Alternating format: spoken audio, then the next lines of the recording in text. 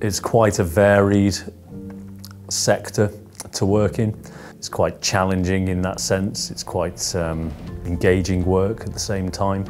You might have two vehicles that you could call exactly the same thing, but they're actually based on two different chassis with a slightly different build and they were built six months apart. So there's doors in different places or different window features or something else. So one livery solution doesn't always work for everything.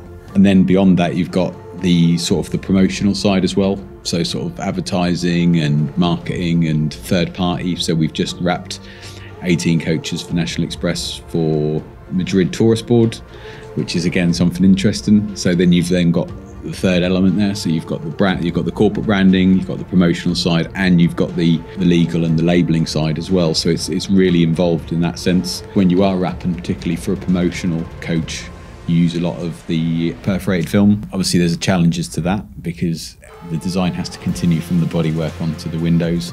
But the way we template the vehicles and we have a lot of the coach templates on files, we're able to sort of implement that seamlessly. The benefit of our vast experience in the fleet industry lends itself hand in hand to our work in bus and coach sector. The ideas, methodology and work behind it is essentially the same. The only difference is scale and ensuring that one livery will fit every bus and coach type within their fleet. The timescales to work to tend to be quite tight, so it's always a bit of a, a rush to try and make sure that you're getting everything done on time. Obviously you're out running during the day, ferrying the general public, so often you find that you're working out of hours, early mornings, overnights, weekends to be able to deliver some large projects. Last one we did, we were we were wrapping on bank holidays when the, the coaches weren't in service. So, you know, that that's a challenge because, you know, they can't just take 10 coaches off the road and, and, you know, let down their passengers. So we have to work around that.